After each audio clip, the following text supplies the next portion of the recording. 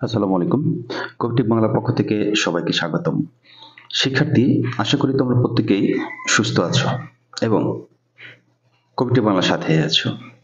শিক্ষার্থীবৃন্দ, তোমরা যারা দু সালে এসএসসি পরীক্ষায় অংশগ্রহণ করতে যাচ্ছ, তোমরা এখন এক কথায় ক্লাস টেনে আছো। তো তোমাদের পঁচিশ সালের এসএসসি পরীক্ষাটা কেমন হবে, সেটা নিয়ে একটু কথা বলব। সাথে যে টেস্ট পরীক্ষা, নির্বাচনী পরীক্ষা তোমাদের হবে কিনা, সেটা নিয়ে একটু কথা বলব। শিক্ষার্থী, তোমরা যারা কারিগরি শিক্ষা বোর্ডের অধীনে বিভিন্ন শিক্ষাক্রমে অধ্যয়নরত আছো, যারা এই মুহূর্তে আমার চ্যানেলে জয়েন করেছ, অবশ্যই চ্যানেলটিকে সাবস্ক্রাইব করে বেল আইকনটি অন করবে। যারা করেছ, তাদেরকে অসংখ্য ধন্যবাদ এবং শেয়ার এবং যেই কমেন্ট আছে, কোনো প্রশ্ন থাকলে কমেন্টের মাধ্যমে জানিয়ে দিবে এবং বন্ধুদের মাঝে বেশি বেশি শেয়ার করবা। যদি ভিডিওটি ভালো লেগে থাকে, একটি লাইক করবা। যেটা আলোচনা করতে যাচ্ছিলাম, চলো যে প্রথমে আলোচনা করি টেস্ট পরীক্ষা হ্যাঁ? যে নির্বাচনী পরীক্ষা যেটা আছে, এরকম একটা বিজ্ঞপ্তি আরও কিছুদিন আগে দেওয়া হয়েছে যে সকল শিক্ষা প্রতিষ্ঠানের প্রধান ও সংশ্লিষ্টকে জানানো যাচ্ছে যে দু হাজার পঁচিশ সালের মাধ্যমিক স্কুল সার্টিফিকেট এসএসসি পরীক্ষায় অংশ গ্রহণেচ্ছু শিক্ষার্থীদের নির্বাচনী পরীক্ষা গ্রহণ শেষে ফলাফল আগামী সাতাশ এগারো দু তারিখের মধ্যে প্রবেশ, প্রকাশ করতে হবে। তার মানে সাতাশ তারিখ, এগারো নভেম্বর, নভেম্বরের সাতাশ তারিখের ভেতরে রেজাল্ট প্রকাশ করতে হবে। এখন এক এক স্কুল এক এক দিনে পরীক্ষার রুটিন দেয়। একটু এদিক ওদিক থাকে, কোনো সমস্যা নেই, কিন্তু ফল প্রকাশ করতে হবে সাতাশ তারিখের মধ্যে। হ্যাঁ? আগামী এই তারিখের মধ্যে প্রকাশ করতে হবে।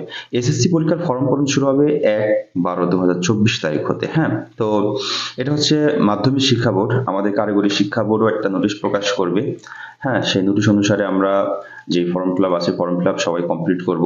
হ্যাঁ আরেকটা বিষয় যেটা বলতে চাচ্ছি সেটা হচ্ছে টেস্ট পরীক্ষা অনেকেই প্রশ্ন করছ টেস্ট পরীক্ষা দেওয়া লাগবে কিনা। সেটা নিয়ে একটু কথা বলি। তোমার স্কুল যদি তোমাকে বলে টেস্ট পরীক্ষা দিতেই হবে হান্ড্রেড পার্সেন্ট দিতে হবে হ্যাঁ? টেস্ট পরীক্ষা দেওয়া বাধ্যতামূলক এসএসসি পরীক্ষার জন্য।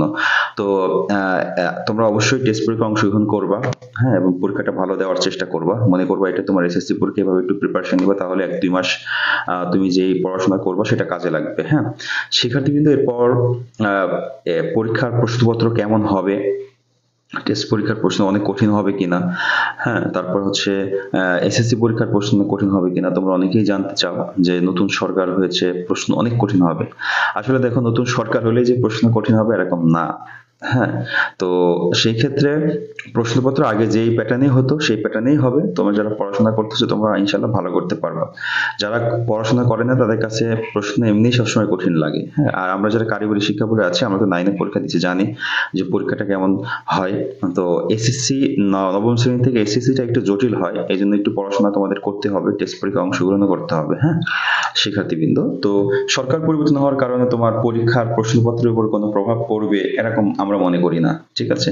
কারণ প্রশ্নপত্র যে ধারাবাহিকভাবে যারা করতে তারাই করবে। তোমরা শুধু জাস্ট পরীক্ষা দিবা হ্যাঁ? পরীক্ষা ইনশাল্লাহ ভালো হবে। এ হচ্ছে তোমাদের এসএসসি দু হাজার পঁচিশের সর্বশেষ আপডেট সবাই ভালো থাকবে, সুস্থ থাকবে কবিটা বাংলার সাথে থাকবে। আর এসএসসি দু হাজার পঁচিশের জন্য হান্ড্রেড পার্সেন্ট কমন উপযোগী special suggestion plus course course মানে ফিজিক্স কেমিস্ট্রি ম্যাথে বেসিক যে টপিকগুলো তোমার পরীক্ষায় আসবেই ওখান থেকে, ওইগুলো তোমাকে বুঝিয়ে দিয়েছে হাতে কলমে, যেন তোমাকে প্রাইভেট না করতে হয়। হ্যাঁ? কোর্সের সাথে সাথে সাজেশনে পাবা সবগুলো। সাবজেক্ট সব পিডিএফ ফাইল যদি নিতে চাও স্ক্রিন থাকা যে হোয়াটসঅ্যাপ নাম্বার আছে, অবশ্যই হোয়াটসঅ্যাপ মেসেজ করবা। কীভাবে নিতে হয় প্রসেসটা কি আমি তোমাদেরকে বলে দিব। আল্লাহ হাফেজ।